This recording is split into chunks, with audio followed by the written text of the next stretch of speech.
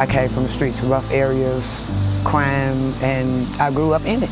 So I have four daughters, and I didn't want them to grow up the way I did.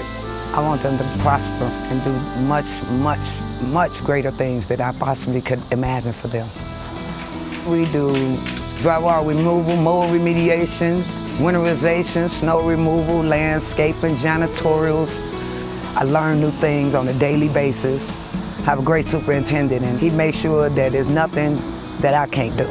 It was founded as 180 degrees property, which means you're turning everything around halfway. You're going in a new direction. State Farm saw what we did and really bought into it. So I give them a lot of credit for seeing what was here because a year ago we were a really different company than we are today. And thanks to them, we're going to keep going in that direction. The foreclosure crisis has had uh, a very severe effect on families and also on communities with respect to their infrastructure, the assets in that community. Homes that were occupied by families are now either sitting vacant or in some form of rehabilitation but without occupants and they become a, a, real disaster for communities who are trying to maintain the values of that community in terms of property values as well as uh, a healthy community. Basically what we're doing is we're keeping the property safe from getting damaged and making sure that they're secure. We know that vacant properties that are not adequately secured can cause problems for community residents.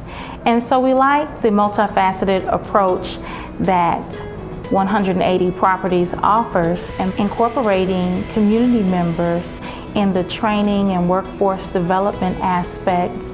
It's not someone else's problem, it's everybody's problem. I know lots of people appreciate what we do when we go into these properties and the neighbors, especially the older and the more established neighbors that's been living there for a while, they'd be so grateful. Clearly there's no way we could have grown this company as fast as we have if it wasn't for the support of funders like State Farm and Enterprise and others who have stepped up and really given us an opportunity to grow. We think the best strategy is a local one.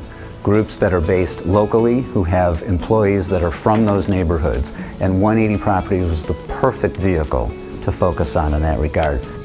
Looking at the communities where young people can play safely even though there's a vacant property on their block, the families appear to be encouraged by the fact that the owners are seeing to it that the property is maintained and they're taking the steps to make it the best situation possible. 180 has changed me 180 degrees.